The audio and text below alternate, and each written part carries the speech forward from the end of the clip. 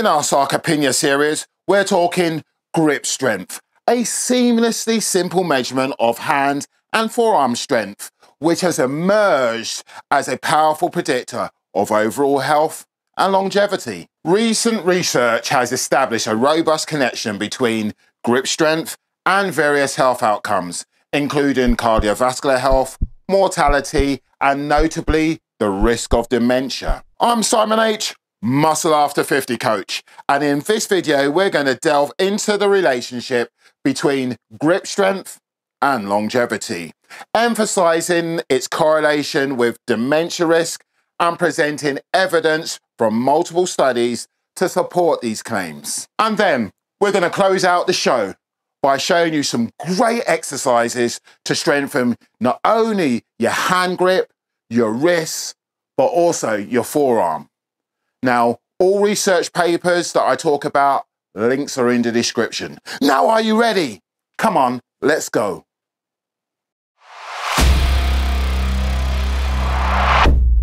Grip strength is not only just a measurement of the muscle in your hand and forearm, it serves as a proxy for overall muscle mass, physical strength, and general health.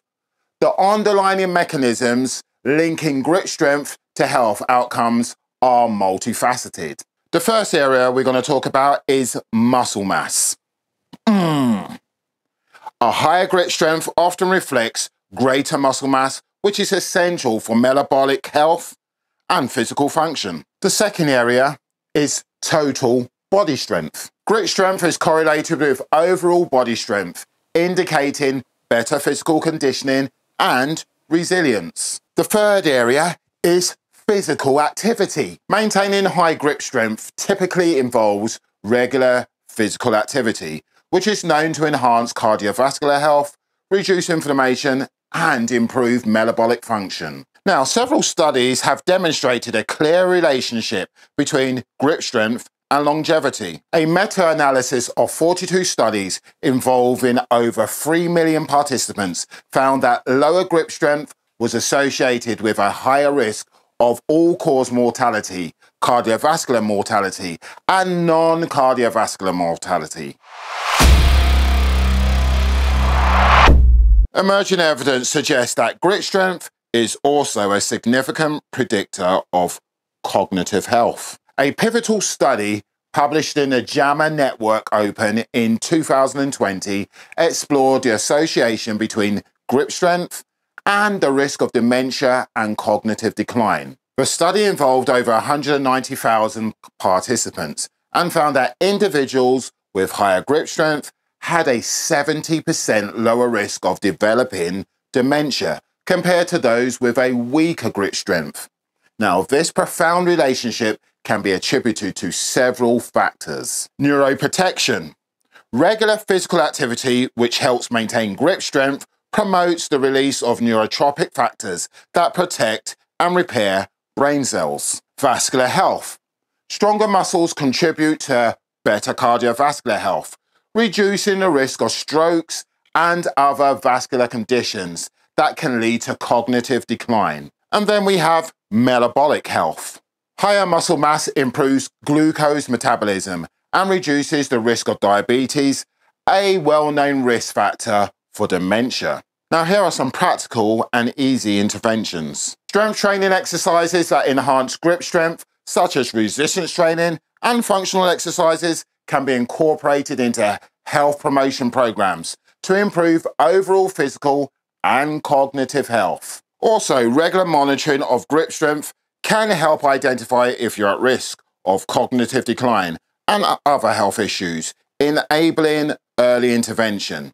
Now we've got that out of the way, I'm going to show you some grip strengthening exercises that you can do at home without weights, in the gym with weights, so you haven't got any excuses.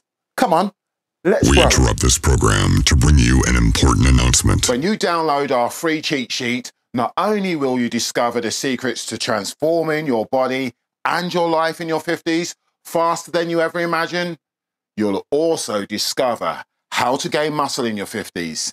This will shock you, not only because of how easy it is, but the speed at which you'll see results. You'll also find how to lose weight in your 50s.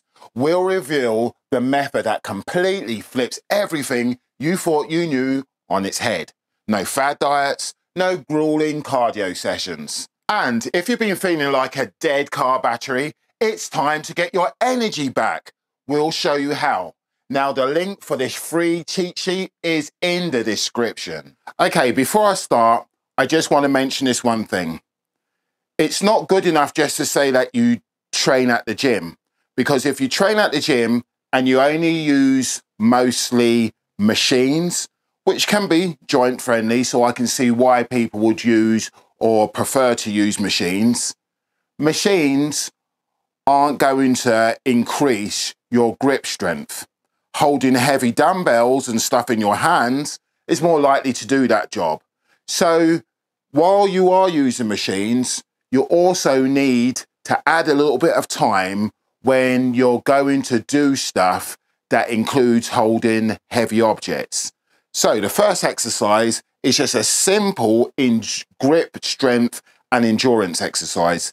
I'm going to show you how to do it with a weight, pretty simple exercise, and then what you can use at home if you don't have any weights.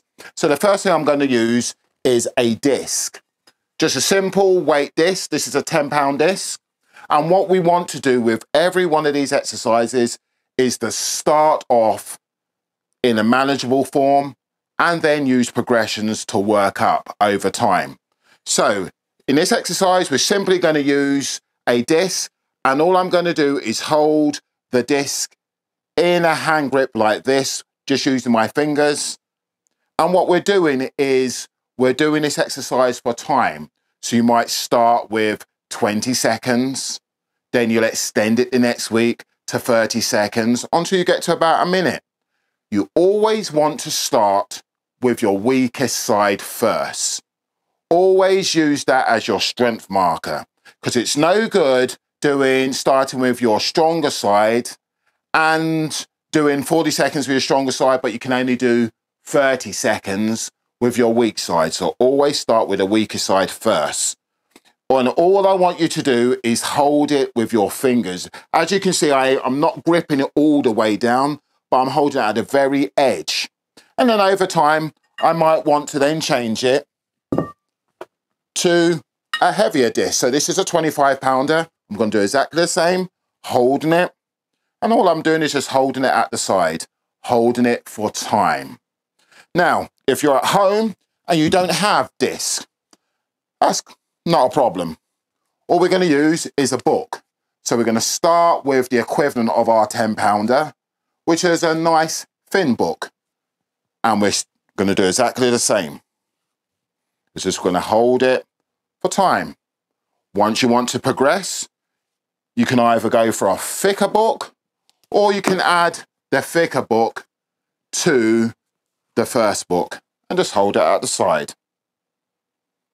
Now, if you do 30 seconds on this side, turn over and do 30 seconds on the other side. So that's our first exercise. Exercise number two is the exercise that you saw me doing right at the beginning of the video. And that is, we're gonna take a small dumbbell and I always start off with a smaller dumbbell until I get the hang of an exercise. And instead of holding the dumbbell on the handle, what we're going to do is we're going to turn the dumbbell on its head and we're going to hold the knuckle. Now, this is slightly more advanced than the first exercise because with the first exercise, we were using a smaller grip. Now we have to extend the area that we're trying to grip. So now what we want to do is to be able to hold something like a light dumbbell on its head. And all I'm trying to do is squeeze my grip around that head.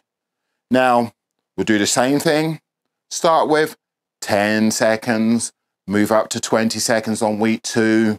And you might want to do two or three rounds per workout. So I'll start here and then I'll move it over to this side. Do exactly the same time on this side. And always write down your progressions. So you're not guessing and on week two, you're not stepping back, but you're moving forward. So after I've done this one, what I'm going to do is I'm going to progress with something heavier. So exactly the same. So that was a 15. Now I'm using a 20. And what I want to do before I move up again in weight is to be able to hold this for about 45 seconds. Once I can do that, that's when I want to move up. Now, for those training at home without a dumbbell, that's easy enough. All you need is an empty tub, and then you can fill that up with water.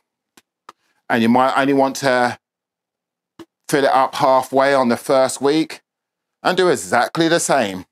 Hold it in your hand.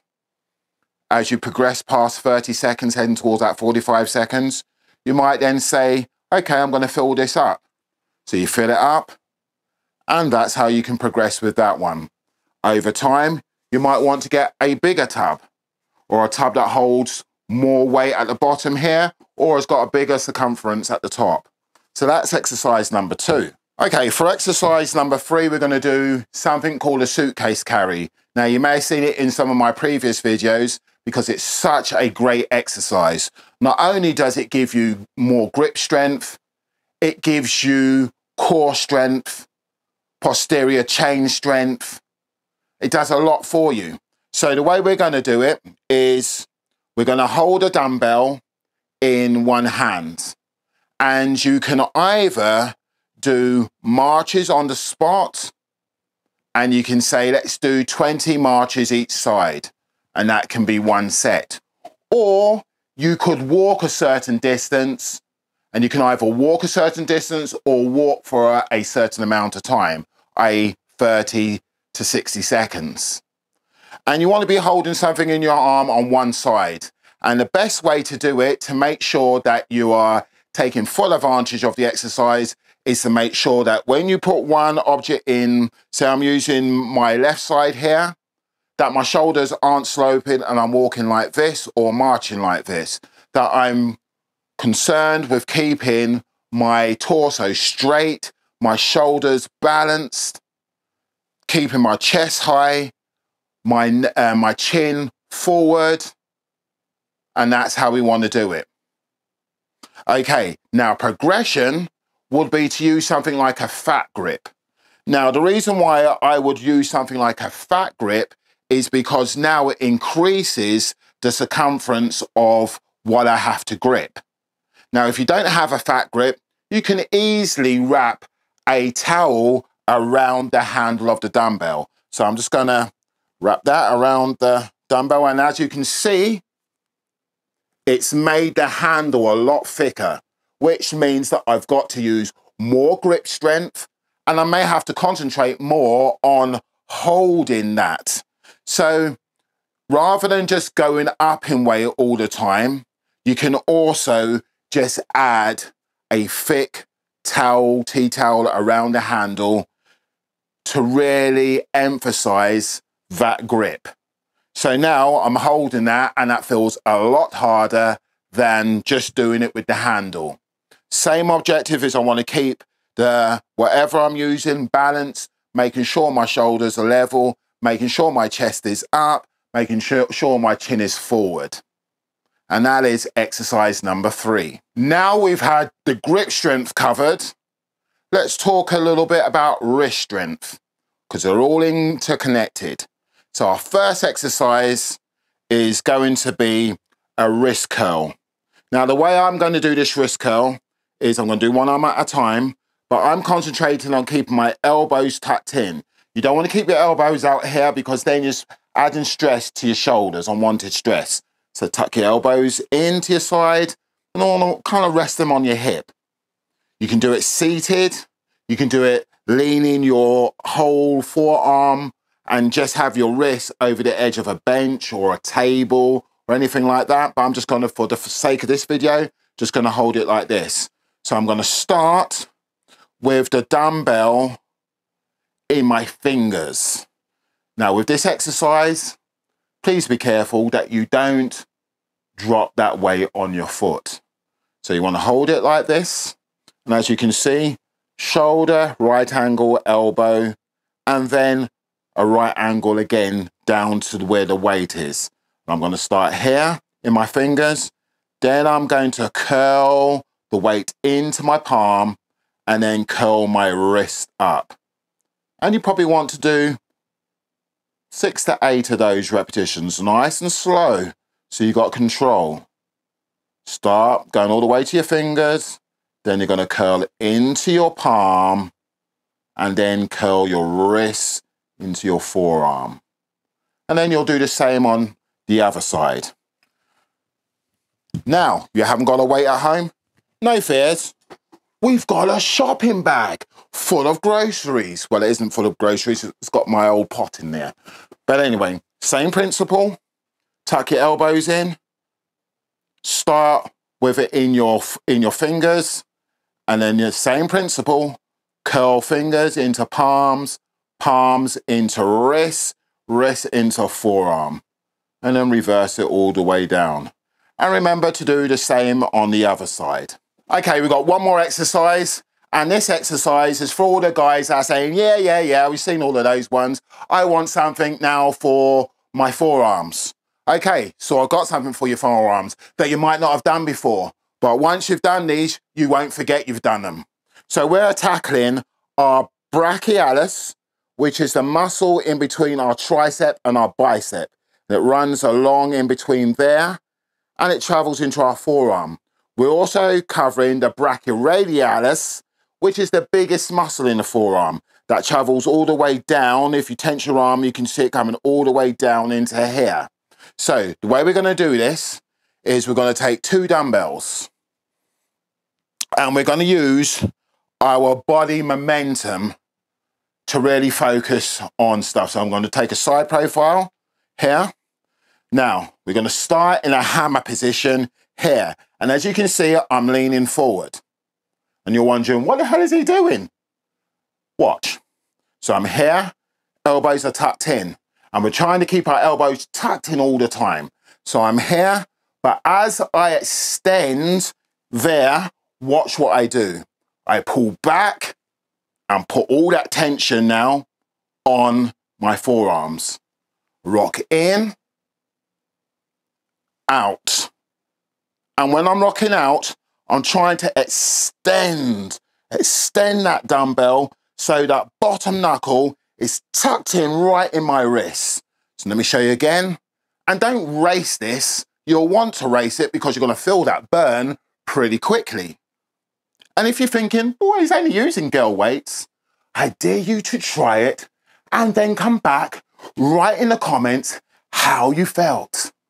I'll tell you, after four weeks of doing this, you're to see not only a bit of growth on your forearms, but your forearms are going to feel much stronger. And then it translates into being able to use more weight in all your compound movements. So let me show you again. We start in that hammer position, elbows tucked. And then we go from there, boom, there, boom, there, boom. Now you want to make it harder? I'll tell you how to make it harder. Start in this position.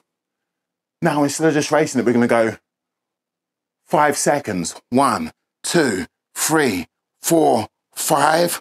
Hold. One, two, three, four, five. I ain't going to show you another rep because I did these yesterday. So my arms are still hurting. Now, if you do these exercises as consistently as you breathe, well, not that consistently, but we want to be incorporating them at least twice a week.